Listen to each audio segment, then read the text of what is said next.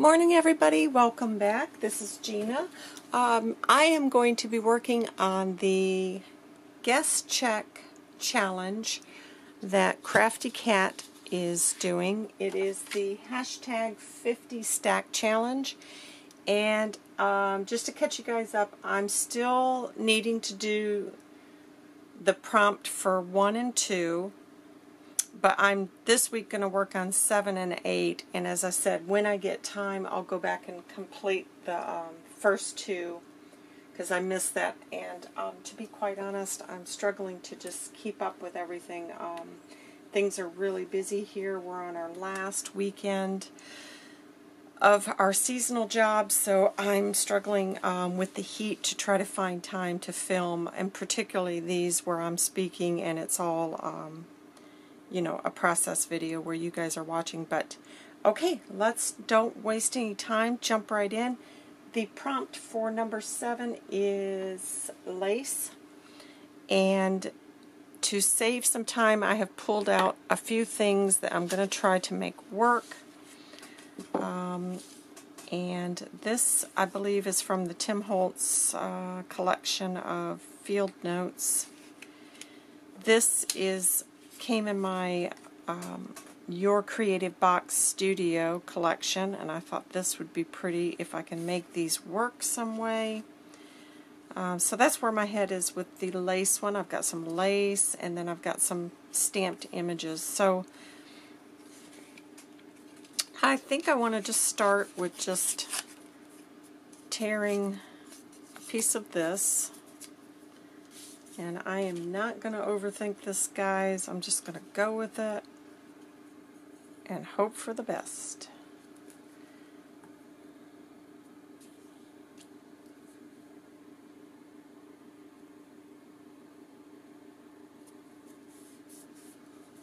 Grab my ink. Tried to get everything laid out, but there's inevitably something that I forget every time. Um, this one, I know I want this image to kind of cover this portion of the guest check, so I'm just going to tear this down. Let me zoom you guys out. I'm a little bit close, I think, today, so...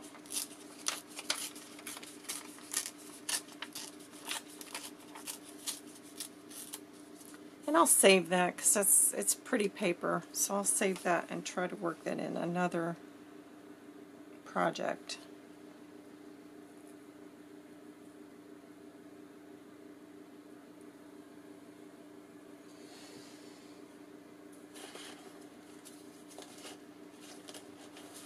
Um, I'm going to keep the numbers on this one, but I want to tone that down just a bit. I don't like that harsh red because it doesn't go with the colors on this. So this is just some old sewing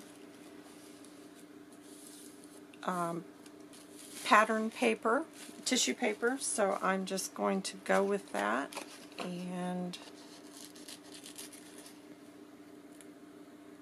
it's a it's just a great little way to tone things down because I want as I've said to you guys before I don't like to cover things to the point that you don't know that it was a guest check or an envelope. I kind of like, to me, you know, it, that's why I like the junk journal is is taking something that's ordinary and um, turning it into something extraordinary. Alright, that looks better to me because that's toned that down and I could actually, you know, I'm just going to tear up a little bit to get some wrinkles in it and I'm actually going to go over that again.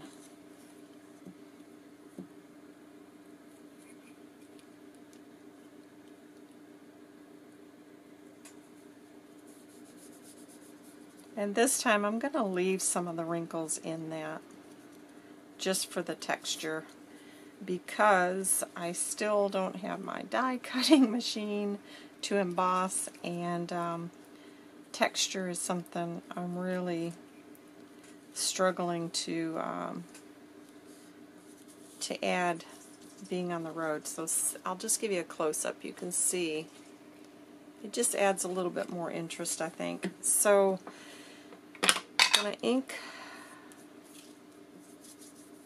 these edges before I put this one down. I'm going to now go ahead and ink around this piece. I should have did that before I glued it down, but I wasn't thinking. Because I don't want this, I don't want to over ink this time. I, I, I don't really do the grunge look, but I don't know what. Lately I seem to be doing more of that. Um, Alright, so I'm not going to cover I don't want to cover those numbers, so I'm just going to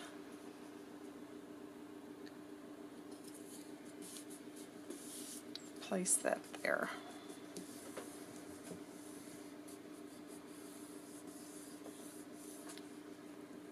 Okay, and so now I'm thinking it would be kind of fun to have a little bit more of this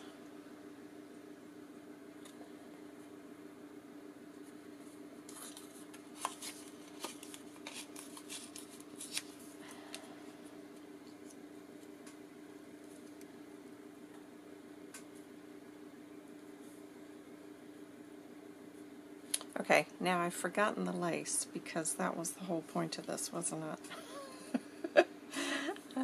Getting sidetracked. Okay. I'm going to work this in. I'm just going to lay these now.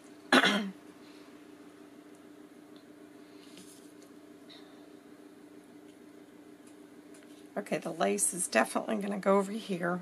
Ugh,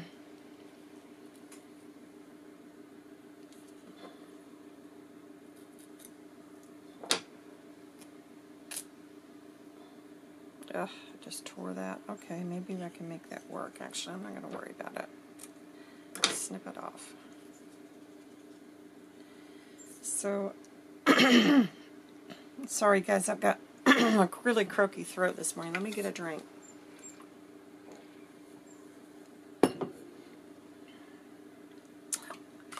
I was thinking a bit of this underneath Alright, let's just go for it. I'm just going to go ahead and cut that because I'm pretty sure.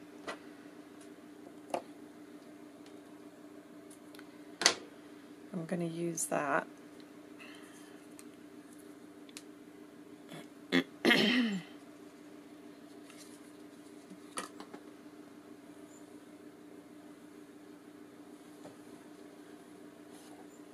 okay, and I've got a few more things. I want to use this, but I'm going to go ahead and pull. I want this to be more frayed. I've just cut these after I inked them. And what I do is I just put these in a little container, and then when I go to use them, I just fray the material a little bit more.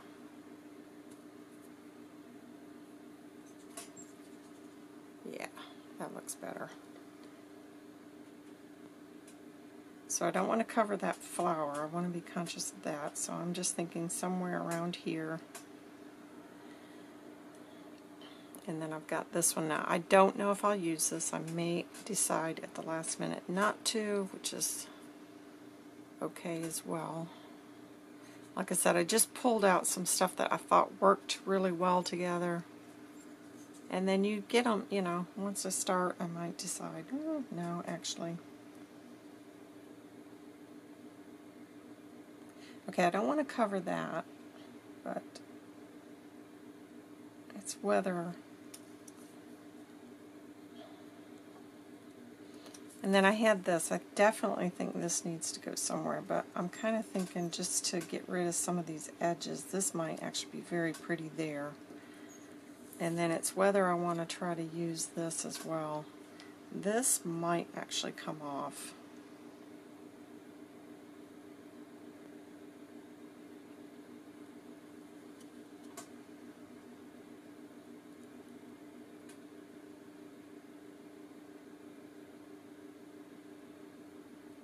Hmm.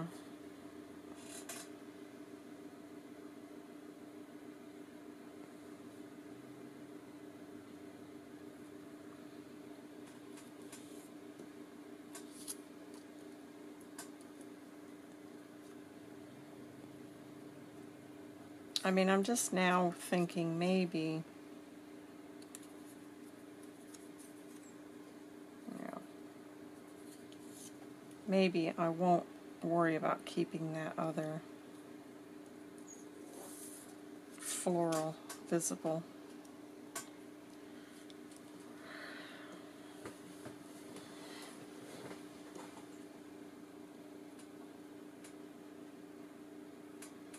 Yeah. Yeah, I think I'm just going to go. Okay, first of all, I'm going to get this lace down because let's take my Fabri-Tac, get that down, and then I think I can start to pull this together. I think this is what's throwing me is not having this. So I'm going to let that edge just hang off slightly just for a little bit more interest. And then this little strip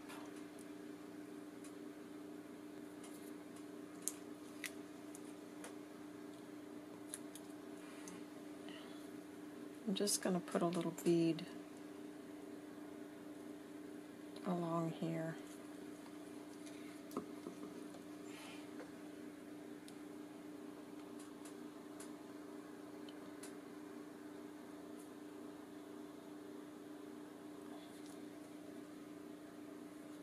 Okay, that's better, definitely. Alright, so let me just go ahead and trim this up. It's the center bit. This is still kind of giving me some trouble here, and I might change the whole focal point now.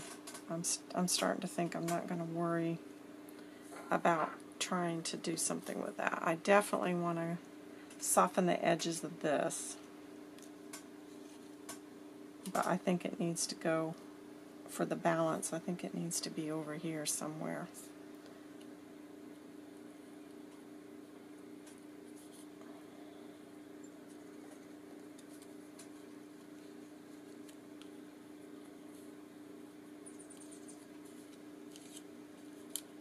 There. I like that. Okay, yep, I'm just going with it because again, I'm overthinking this, I, I think. I think I'm overthinking it. Alright, I'm going to use Fabri-Tac on this because this is going on the lace and I want to make sure that this is adhered.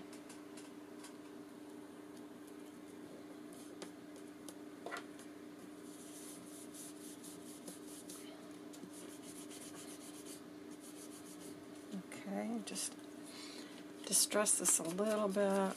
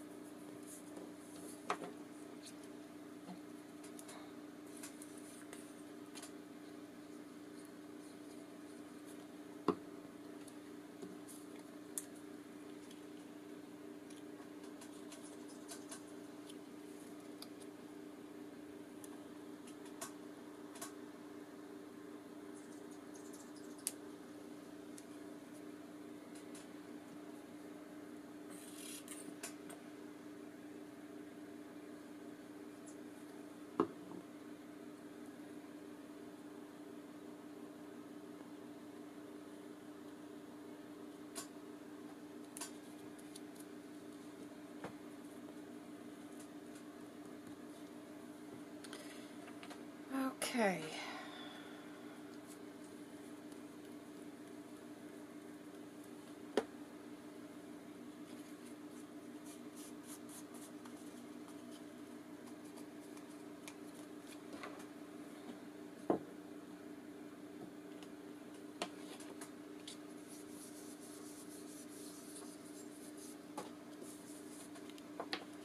Okay, there is the number seven.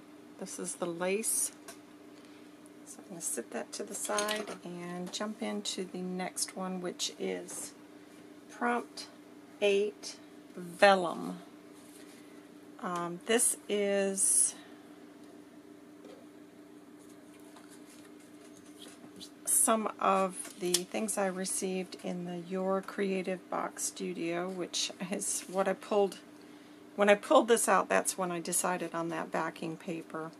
Um, so yeah, I'm just kind of using this up. And this is vellum that came in that, and I think that is just beautiful. So this one, the first thing I want to do is get a little bit of this music paper. I'm going to get some of this down.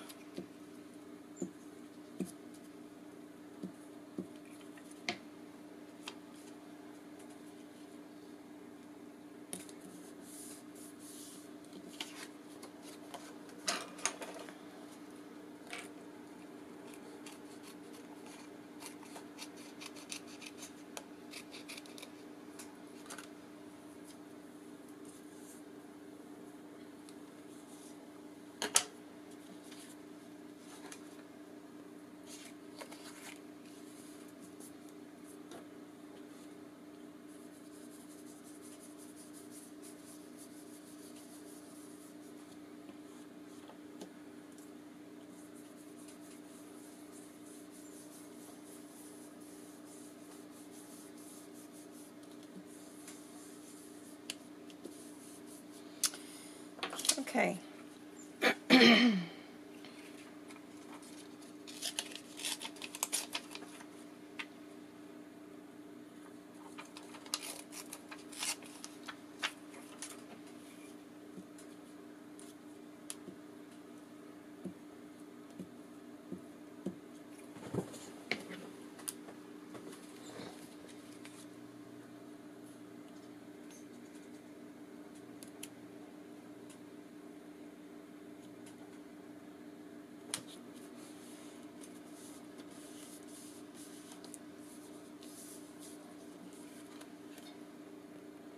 I love how that's showing through. That's really, really pretty. And I'm just going to trim off the excess.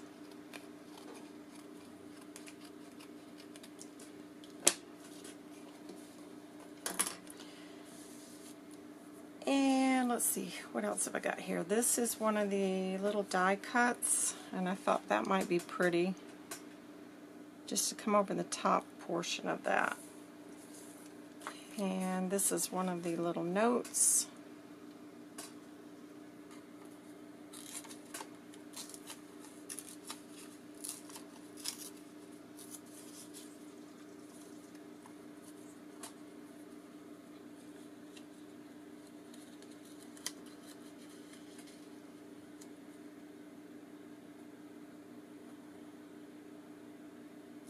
Yeah, I'm just going to go with it, guys.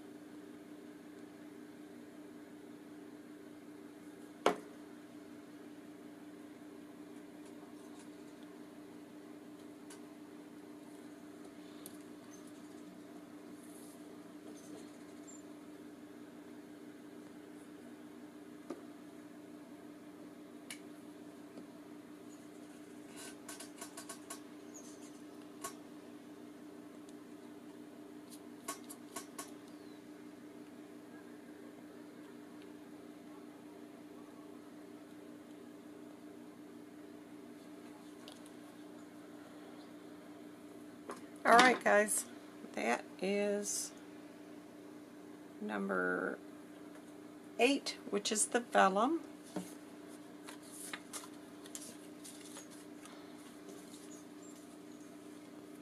So there we go. 7 was lace, 8 is vellum. Let me just give you a close-up of this one.